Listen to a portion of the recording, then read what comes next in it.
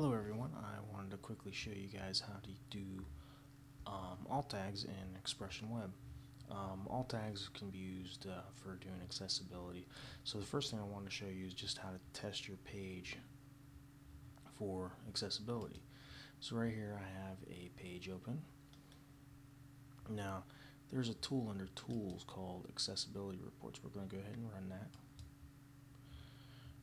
click this and then there's some different settings you can run against your whole site or just selected page. We're just going to do on a selected page here. And then here are the different things you can check for. And you can check for errors, warnings, or manual checklist. So uh, we're going to go ahead and run this report against here. Click check. And we found no errors go ahead and run it again on the current page. And here we go, we got one error.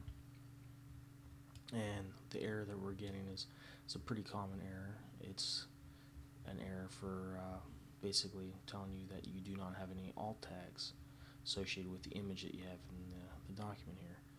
Um, to add an alt tag to an image, all you have to do is right click on the image, go to picture properties and then here we have alternate text.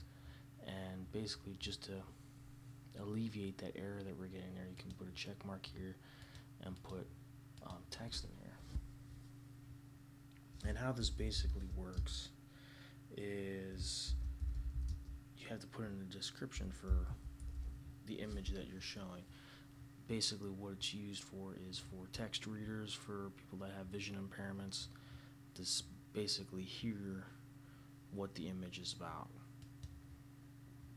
So by just doing what I just did there, if we run, run rerun this report, we should not get any errors. And right now we have no errors. Also, if you wanted to, I'm going to go ahead and wipe this image out. One of the things you'll notice when you insert an image so here we're going to insert an image picture from file. I'm going to scroll down here and just select that image that we just had in there.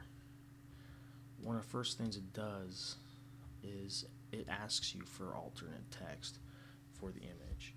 So as you're adding the image to the page, it's going to go ahead and ask you for the code. So here we go. And then if I click OK, can rerun that report again. The current page, no error messages. And if we go here and right click on the image again, go to picture properties, we can see the alternate text is in there for that for that uh, image. All right, that's it. Thanks.